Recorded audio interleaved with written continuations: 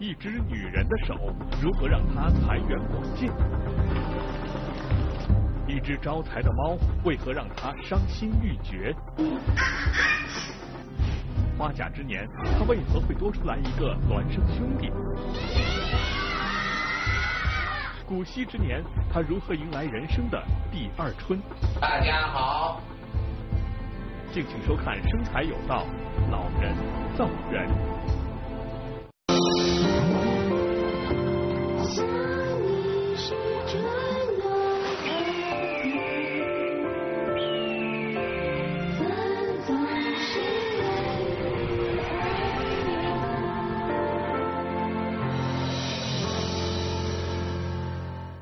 生财有道，致富从这里起步。大家好，我是张露欣。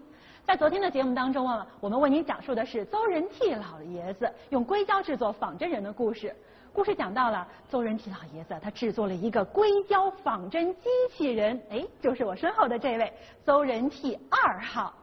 这个机器人到底有多么逼真？这么跟您说吧，老爷子的女儿都觉得是真假难辨。那么这个硅胶仿真机器人当中究竟有何玄机呢？老人又是如何利用这个硅胶仿真机器人重新夺回市场订单的呢？邹仁替做一个自己，有着自己的考虑。你们不是都说我做仿真人像做的很像吗？那我就找个参照物，做一个和自己一样的机器人，然后我自己坐在机器人的旁边，让你们以为这就是一对双胞胎。虽然技术含量上不见得比美国的、日本的机器人技术水平高。但这是艺术家做的机器人，我可以比你们科学家做的更像生活中的人。这在创意上更能引起人们的关注，更能产生轰动的效果。做我的自己的像，就是为了营销，就是来对比。二零零六年九月，经美国《时代周刊》报道后，邹仁替的仿真机器人邹仁替二号被美国《时代周刊》评为二零零六年世界最佳发明奖。那我们也是唯一从中国入围的最佳发明奖，而且很多像机器，尤其是机器人类的最佳发明奖都是日本的，所以我们觉得很为国家争光。结果看到我这个机器人以后，大为吃惊，没想到中国人会做这么一个机器人。二零零七年六月，邹仁替和他的仿真机器人邹仁替二号被邀请参加美国电子科技成果展。邹然替仿真机器人的展台吸引了大量的观众，两个邹然替不时面对面说话，好奇的观众难以分辨真假，不时发出阵阵惊叹之声。有的是惊讶，那眼睛瞪得跟牛眼一样的，铜铃一样的；有的嘴巴张开大了，张这么大合不起来了。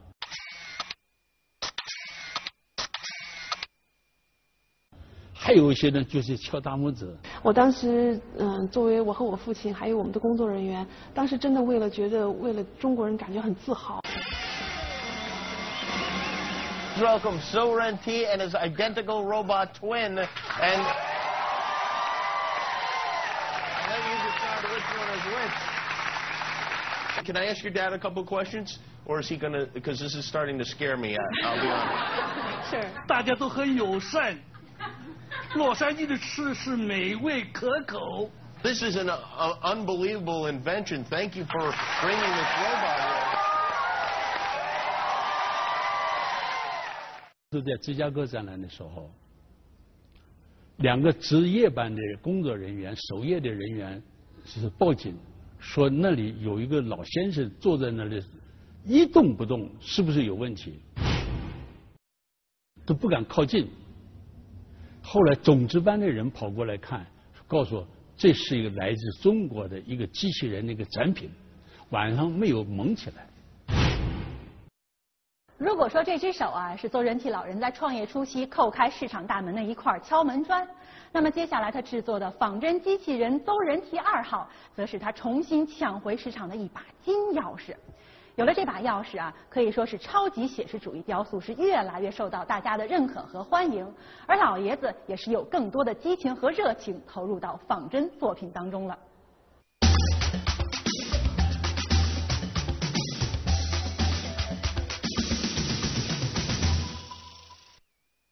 我们从美国回来之后，我们的订单的话，就是就明显的增加了，员工的积极性也高涨了，情绪高涨。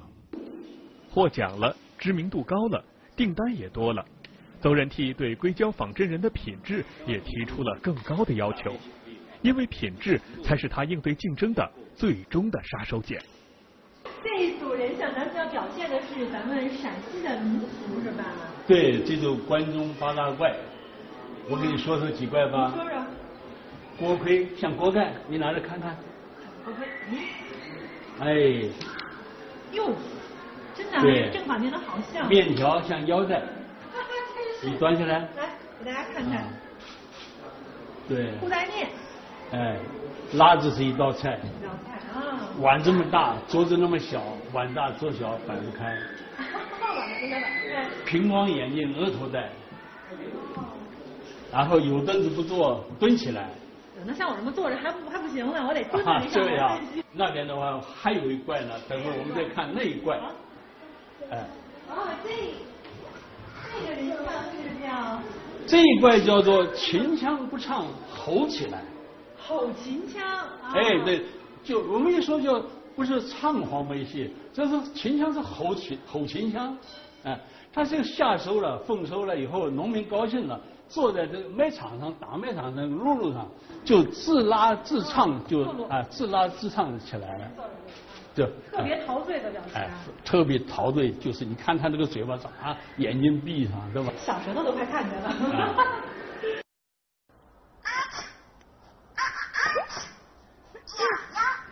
太可爱了，这只猫啊！你看这富贵的大肚皮，手拿金元宝，一眼看上去啊，就知道这是一只招财猫。人家不仅眼睛会眨，而且还会说话。可是这只招财猫啊，到最后却并没有为邹老爷子真正招来财富，却成了一只破财猫。说到这儿，您可能会问了哈，这邹仁济一向是以做仿真人擅长，可是为什么最后却做起了这种仿真猫呢？邹仁替在美国参加展览，让自己名声大振。半年后的一天，他接到了一个电话，一个旅游公司的老板请求邹仁替帮他们制作一个招财猫。他说：“我这里哈，你们那个机器人我看到了，这个消息都知道了。说你能不能给我做一个机器猫？”听到这个消息，邹仁替激动不已。我把这机器人都做了，这机器猫还做不了吗？对吧？我说这个可以变成商品了嘛？啊！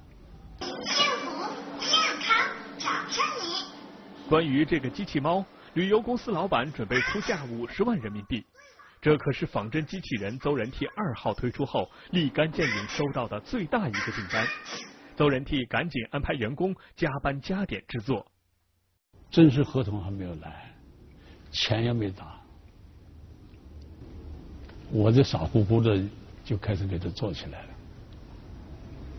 七八个人连续加班加点工作，经过一百多道工序，花费四个月的时间，机器猫终于做出来了。它不仅可以打喷嚏，还能说话，各种动作惟妙惟肖。老爷子，这个猫的毛真的很像真的，这是真的动物毛吗？它是狗毛。狗毛，好柔软呐。因为做这个招财猫的话，就是黄金白银，所以我们特意去选那个狗的毛，来把那个狗毛剪下来以后，一小撮一小撮粘上去的。哦，不是像我们之前看到的，是拿针把那头发一根根指进去的。因为这个是，这是下面是玻璃钢的，不是那个硅胶的，扎不进去的啊。那它这个我看它特别逼真，你看它就是这个猫的这种虎斑纹都特别清肤，都清晰啊。对呀，是这是我们策划好了，因为是黄金白银嘛哈，那个黄金的话它是要有纹路的，它呃都设计的是非常漂亮，很对称，你看到吗哈？然后呢，这耳朵里面的猫又是要特别长，你看看啊，哎哎，这个是下了功夫了。黄金白银招财进宝，邹仁替本想通过这个机器猫赚点钱，振奋一下员工的士气，没想到机器猫做好之后给对方打电话，对方的反应让邹仁替大感不妙。啊，王先生，你过来来。嗯，来来结算吧，或者你们把钱打过来，最后就没有下文了。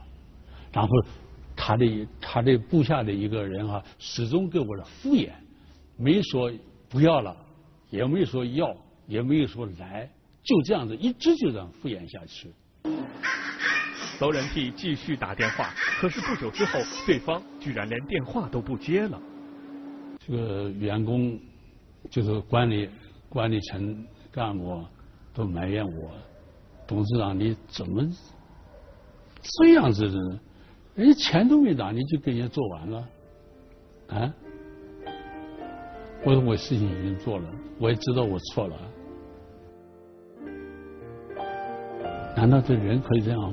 我对的那么真心，而且我的付出，居然最后就是就连最后是下文都没有。面对打击，邹仁体开始反思自己是不是适合搞经营。企业在一天天壮大，如果自己哪一天稍有不慎，公司很有可能会垮下去。从经营上来讲，我就是不适合做这个经营者。别说这个奸商了，那我我现在是连个自己的正当的这个利益都维护不了了。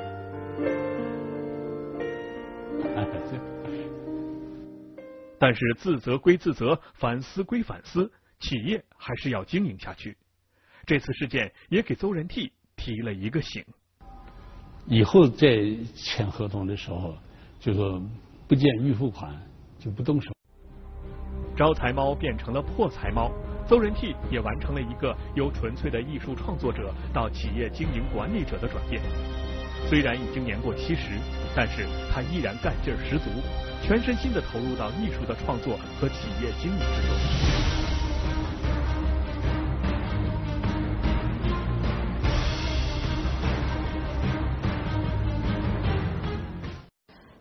节目当中啊，我可是为您请到了一位重量级的嘉宾主持人来一同主持《生财有道》。这个人就是李咏，勇哥。来，勇哥，跟我们的电视观众打个招呼吧。一如既往的很淡定，来，经典的坏笑。哎呦，这笑跟哭差不多，抛个媚眼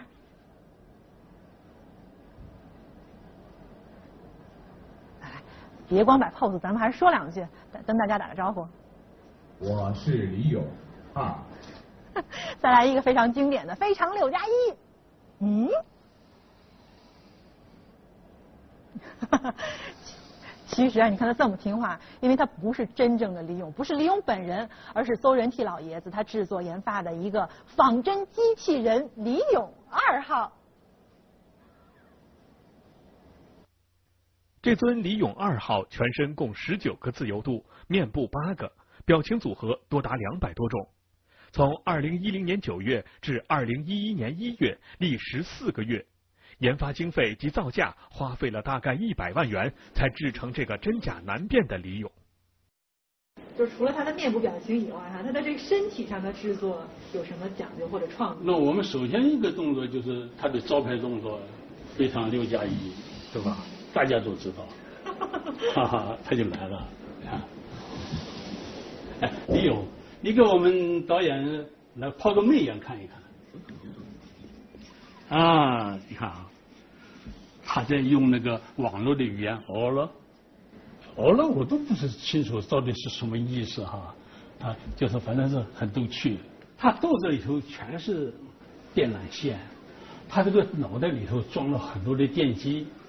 它有很多的机械结构，它嘴巴能张，眼睛呢是这样子能转，眼睛能上下能上下能翻眼，左右能翻眼，眨眼眨眼皮。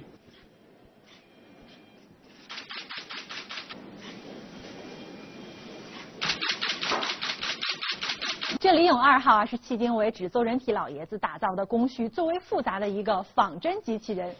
李勇二号不仅从外表上看来呢，和真人是没有什么两样的，最重要的是，人家肚子里的零部件也不比真人的人体器官少到哪儿去。这李勇二号一共是历时了四个多月，花费了一百多万元，可以说花了很多钱，费了很多事儿。可是这邹老爷子却说，他做这李勇二号不是为了卖钱。那您说这邹老爷子他到底图个什么呢？二零一零年九月的一天，邹仁娣接到了一个电话，这个电话是春晚剧组打来的，要做一个机器人，没说做谁，要说上春晚做一个机器人。接完电话，邹仁娣赶紧赶赴北京。和在春晚剧组的交流中，他得知要根据春晚主持人的原型做一个仿真的机器人。开始提出的就是朱军和李勇两个人，后来又有人提出了老毕，提到三个人的形象。反复的讨论以后，我们后来最后表示，我们自己商量了一下，最后表示说李勇比较更好一些。我们人物的造型要有特征，要有特点。如果说很平常的一个非常标志的，就没有很长很大的特点，就不容易让人记住。利用脸长、长头发披肩啊，然后呢，他的非常刘嘉怡这个影响又大，他们很快就同意了，这个没有什么多大争议。时间紧迫。邹仁替赶紧和员工们投入到机器人李勇的创作之中。嗯，去了以后就给李勇拍照，采集了很多的数据，呃，数据很很详尽的。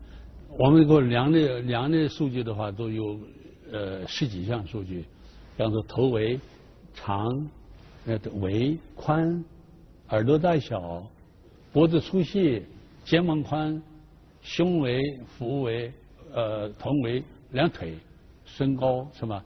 包括手要翻模，手都要翻模子、翻模具，啊，这个全部都量了。邹仁替深知，机器人李勇二号是营销自己企业的一次绝好机会，它的意义远远大于邹仁替二号，因为春晚的平台可以让自己的机器人家喻户晓。当时一想，不管多大代价我都做。研制和创作机器人李勇二号的成本和费用都由邹仁替企业自掏腰包，历时四个月，人工、材料成本花费了上百万，机器人李勇二号终于做了出来，迅速被送到了春晚剧组。你，该你了。收收起。大家好。董卿一推门，我在里边嘛。董卿一推门，啊，这么像啊，这么像，就这么叫。天哪，他能说话吗？能啊。咦，他会眨眼睛呢。咦，眼睛这么认真呢。咦。咦。周涛。也看到，第一次看到，那时候我们那时候李勇还没有完全化妆好，跟我说：“哎呀，太像了。”哎呦，真像啊，太像了！才像百分之七十，先别说话。现在才七十。是吗？简直太像了，真是太像了。揪他耳朵，揪耳朵。这个这样，完事以后把他弄你家去，你生气了踢他。他他他不能够是这样。他这样没做到，目前目前实际上已经很棒了。真假难辨啊！那我来仔细看看。没关系，我可以请现场的观众来帮我来分辨一下。那认为这位是真李勇的，你给鼓鼓掌。哦，认为这位是真李勇的，你给鼓鼓掌。怎么假的都永远都比我这多呢？长在春晚的彩排现场，李勇二号就引起了不小的轰动。邹仁替老人心想，在春晚的舞台上，这李勇二号一定会大火特火一把。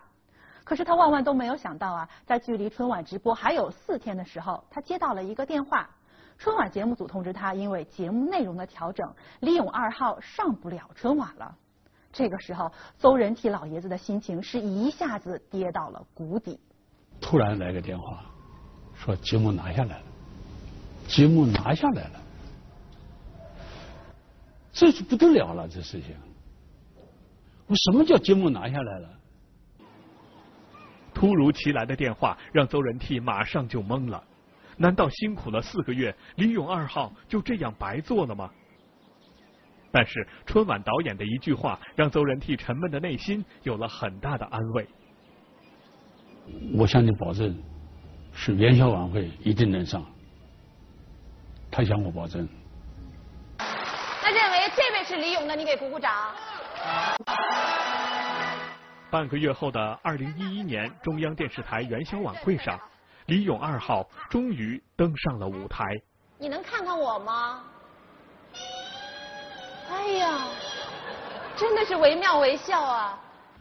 当时我在场，赵本山、董卿，呃，还有谁啊？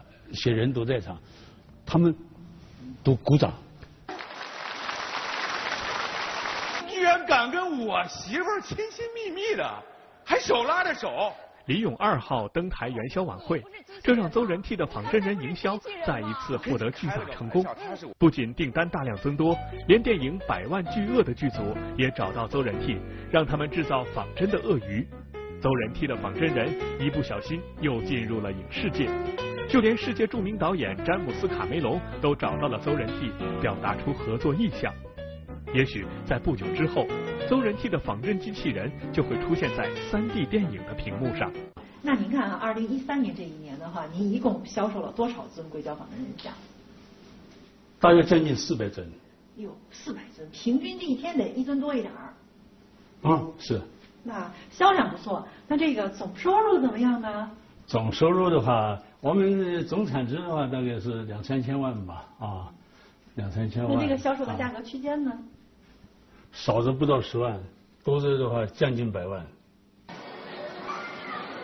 在西安一家大型商场的二楼，周人替打造了一个仿真人体验馆，里面摆放着几十尊仿真人。这是他面对博物馆市场逐渐饱和而想出的另一个经营思路。开业前几天，门票二十元，收入十分可观。刚开始，刚才开始人挤得不得了，一天能卖几千张票出去了，人家那么小的地方，大家都争相排队啊，都想目睹一下这个高仿真这个雕像这个魅力。可是三天之后，经营状况就每况愈下。那里的观众都是附近的居民，他们看了一遍以后，他不不会很快去看第二遍，所以他再来看这个，大多数人来讲，一般起码得半年或者一年以后。如今门票降到十元，每天的游客只有二三十人，相对于每月五万多元的房租，门票收入少得可怜。为了摆脱经营上的困境，邹人替请来了有着多年管理经验的职业经理人。这是我们在定位的准确性上有点问题。其实这个形式还是不错的，大家对这东西产品认可度也是非常高的。只是说这是个商业的一个景点，其实我们更多的应该放在旅游景点，是吧？每天大量的人都是一次性消费。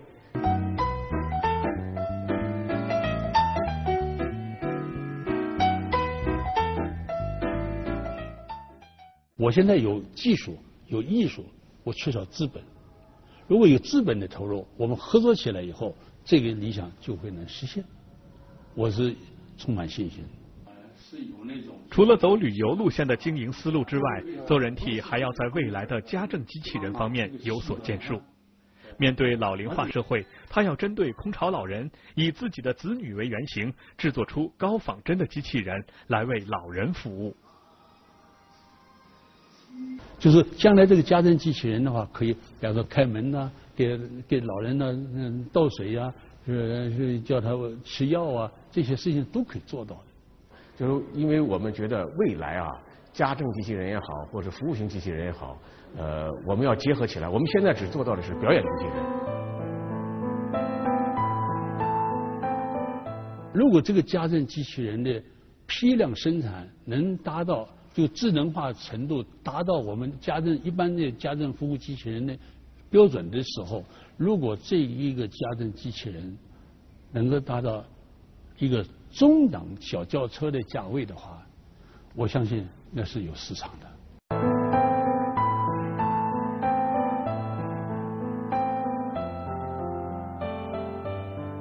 的手艺和个性化的营销方式，我想这些就是一个六十岁退休之后才创业的老人他的生财之道吧。虽然啊，邹仁替老爷子今年已经七十六岁了，但是他总是笑称自己是一个七零后、七零少年。他也总说啊，自己将来的创业之路还有很长很长。我们也真心希望啊，邹仁替老爷子可以在日后带给大家更多的惊喜和感动。